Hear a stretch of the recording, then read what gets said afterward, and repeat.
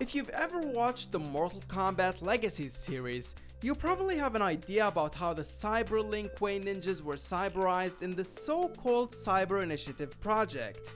It shows that the Grandmaster gives the command to convert the entire Lin Kuei clan into cyber killing machines by outfitting his assassins with robotic castings, meaning that they retain their memories and their bodies within. However, the Cyber Initiative is depicted very differently in Mortal Kombat 11 and I will show you how in today's episode. But before that, you should learn about Amino. It's an app that allows you to share your interests with everyone online. While I was searching for Mortal Kombat content the other day, I came across this artist who makes tutorials showing how to make cosplays of Kitana, Mileena, and even Scorpion.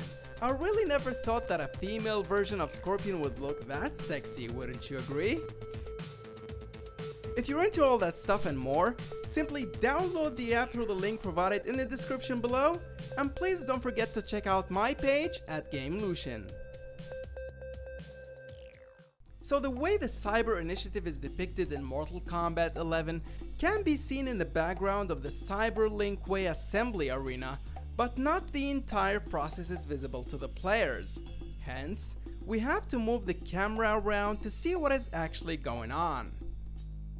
The most obvious step happens right across from the players and it shows how the brain is being deposited into the already finished cyborg before it is sent away for testing. But in order to know whether the machine contains a body within or not, we have to look at the process from the very beginning which starts right here. As we have seen in previous episodes, many things that happen outside of the player's perspective, they just spawn out of nowhere and this case is no different. The machine spawns with the cyborg's torso and head already attached before going to the second step where the legs and arms get installed. The third step simply involves soldering everything together as you can see right here.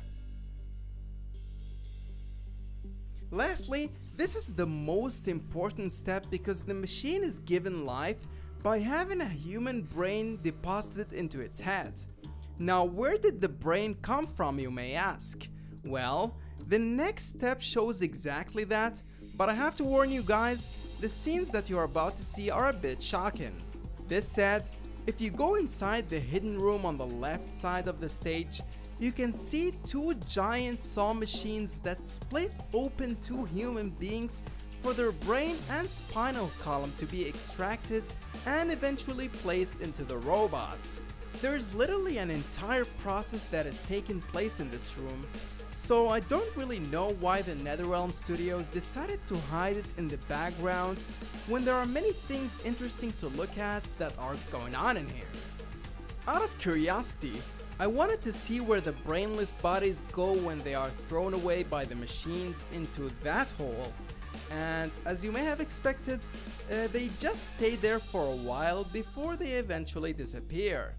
As for where the bodies come from, uh, they simply spawn randomly on the beds and the same process keeps on going on and on and on until you're done playing the game.